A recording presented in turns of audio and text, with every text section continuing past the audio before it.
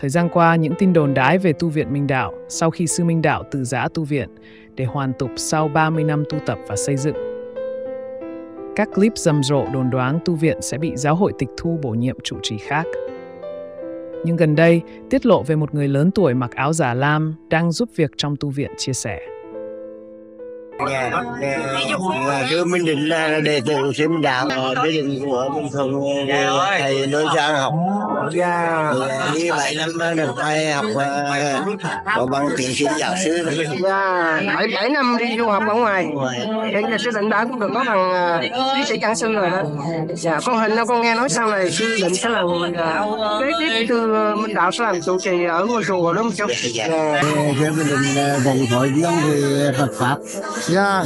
là từ à, việc sống từ à, chơi bên đảo Dạ. mình từ phía bên đạo Dạ. đường nhà sư mình cũng chỉ này là thầy cũng thường cho làm sau này làm chùa kia chùa này đó Dạ. nhưng mà thầy sư mới đi học mới về Dạ. đi ở ngoài bảy năm à, học trung cấp à, 3 năm Phật học và 5 năm cao Phật học 5 năm Dạ. là 13 năm đi nước ngoài 7 năm Dạ. là 20 năm Ồ, đúng thế ha. cũng 20 năm là liên tục học Dạ.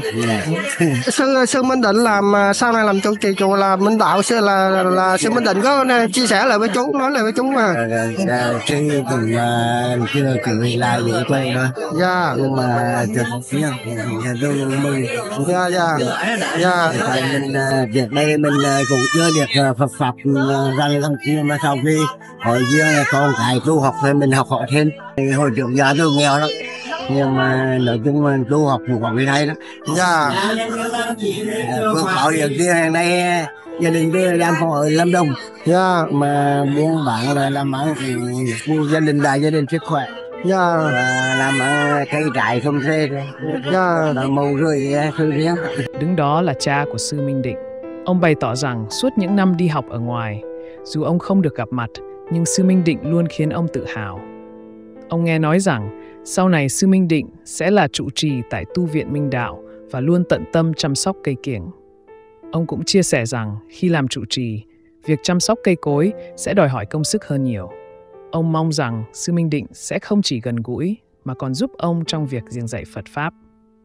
Được biết, Sư Minh Định là đại đệ tử của Sư Minh Đạo, người đã được thầy nuôi dưỡng và dạy dỗ từ khi còn nhỏ cho đến lúc trưởng thành và đã có nhiều thành tựu trong tu học. Theo thông tin mà chương trình đã tìm hiểu, cùng với những lời kể từ cha của Sư Minh Định, vị sư này có duyên sâu sắc với Phật Pháp và luôn quyết tâm đi theo con đường tu hành của Sư Minh Đạo. Sư Minh Định vừa mới trở về sau 7 năm du học ở nước ngoài, đã có tổng cộng 20 năm học tập và nghiên cứu Phật Pháp. Trước đây, ông cũng không biết nhiều về Phật Pháp, nhưng từ khi con cái theo con đường tu học, ông đã học hỏi thêm được nhiều điều. Ngày xưa nhà ông rất nghèo, nhưng hiện nay gia đình đã chứng kiến nhiều thay đổi tích cực. Công việc buôn bán ngày càng thuận lợi, làm ăn phát đạt và trở nên khấm khá. Vườn cây hoa trái trong nhà cũng xanh tốt sum xuê. Ông tin rằng gia đình có người đi tu với tâm hồn chân thành sẽ được hưởng phước báo. Kính thưa quý vị, qua những thông tin tuy ít ỏi vừa qua, mỗi chi tiết đều mang một giá trị to lớn.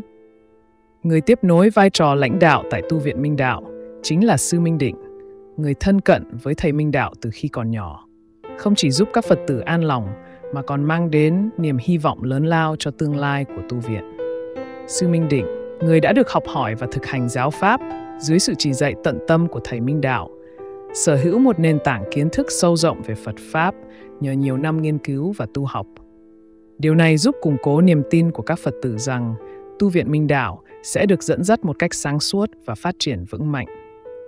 Với sự kế thừa và tiếp nối từ người có tâm huyết và tri thức như Sư Minh Định, tu viện Minh Đạo hứa hẹn sẽ tiếp tục là nơi quy tụ những giá trị tâm linh cao đẹp, mang lại lợi ích cho cộng đồng và duy trì truyền thống tu học bền vững trong tương lai. Hiện tại, thông tin về việc Sư Minh Định tiếp quản tu viện Minh Đạo vẫn chỉ dừng lại ở mức tin đồn chưa được xác thực. Cho đến nay, vẫn chưa có thông báo chính thức nào từ tu viện Minh Đạo về việc Sư Minh Định sẽ đảm nhận vai trò trụ trì, cũng như thời gian cụ thể khi nào sự chuyển giao này sẽ diễn ra. Nếu giả thuyết rằng Sau khi sư Minh Đạo rời tu viện, dĩ nhiên sư đã chọn người thay thế trụ trì thay sư. Không thể nào có chuyện để cho giáo hội phân bổ người. Vì tu viện là công sức của sư Minh Đạo. Và nếu tin này là sự thật, thì các Phật tử luôn kỳ vọng rằng sự lãnh đạo mới sẽ kế thừa và phát huy những giá trị cao quý mà Thầy Minh Đạo đã dày công vun đắp. Mọi người đều mong đợi một tương lai tươi sáng cho tu viện Minh Đạo. Những bước đi của Thầy Minh Đạo gần đây cho thấy Thầy đang dần từ bỏ những giá trị vật chất, từ tiền bạc, danh vọng đến những tiện nghi đời thường để theo đuổi con đường tu tập hạnh đầu đà như Thầy Minh Tuệ. Thầy đã tìm thấy chân lý đúng đắn sau hơn 30 năm tu hành, nhận ra rằng giá trị thực sự nằm trong sự thanh tịnh và bình an nội tâm. Cầu chúc cho hành trình mới của Thầy Minh Đạo luôn tràn đầy an lạc và bình an. Nguyện cho Thầy luôn vững bước trên con đường tu tập.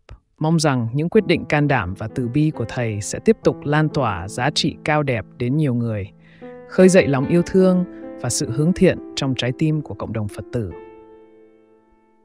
Hành trình theo đuổi chân lý của Thầy sẽ trở thành nguồn cảm hứng vô tận cho tất cả những ai đang tìm kiếm ánh sáng tâm linh.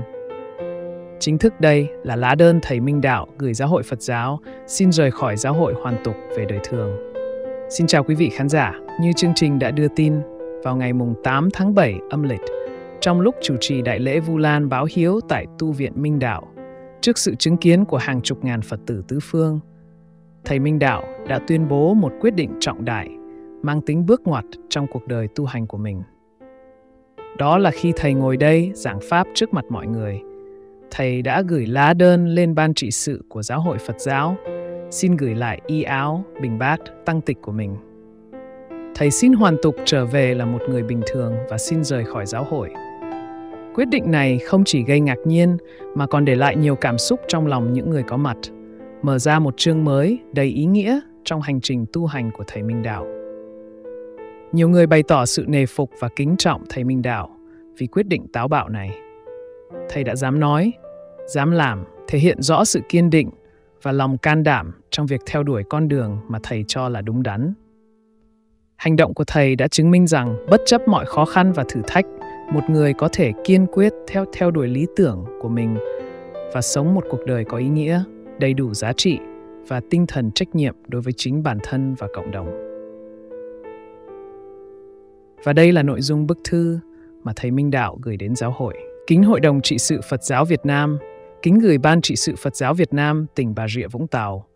Con tên Võ Tiến Dũng, sinh năm 1974, pháp danh Thích Minh Đạo, giáo phẩm thượng tọa, hiện đang trụ trì tại tu viện Minh Đạo, thôn Phước Thành, xã Tân Hòa, thị xã Phú Mỹ, tỉnh Bà Rịa Vũng Tàu.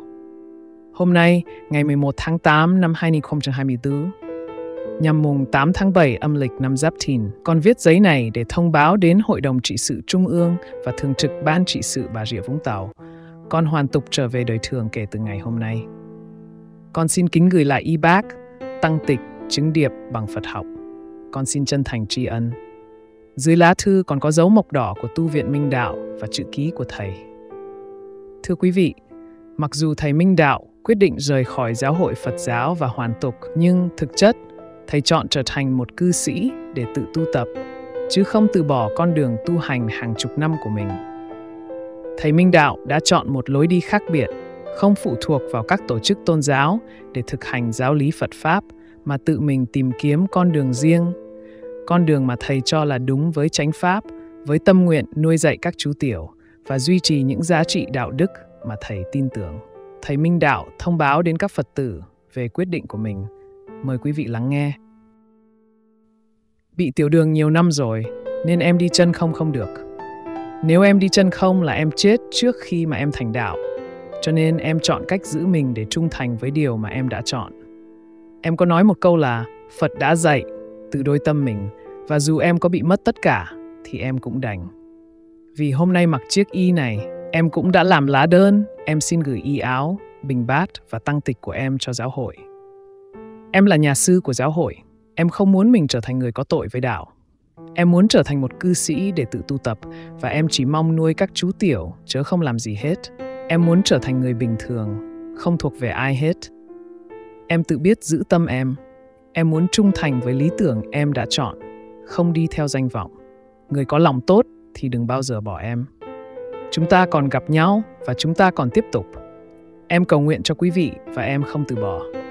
Em luôn mong quý vị sẽ sống tốt. Em sẵn sàng từ bỏ tất cả và em sẽ chờ ngày này và đây là một bài học. Kính thưa quý vị và các bạn, mọi việc trong cuộc đời đều mang một ý nghĩa riêng. Hành trình tìm kiếm chân lý và sự an lạc thực sự không hề dễ dàng. Với quyết định của thầy Minh Đạo, chúng ta có thể thấy rõ hơn về lòng quyết tâm, sự can đảm và lòng trung thực trong việc theo đuổi con đường mà thầy đã chọn. Thầy đã tìm thấy sự thanh tịnh trong tâm hồn và đó là điều mà thầy luôn hướng đến. Những giá trị tinh thần cao quý sẽ tiếp tục lan tỏa, truyền cảm hứng cho những người khác. Đây là bài học quý giá mà chúng ta có thể rút ra từ cuộc sống. Hãy cùng nhau cầu nguyện cho thầy trên con đường mới và hy vọng rằng thầy sẽ tìm thấy niềm an lạc và bình yên. Xin cảm ơn quý vị và các bạn đã quan tâm lắng nghe. Xin chào và hẹn gặp lại quý vị và các bạn trong những video tiếp theo.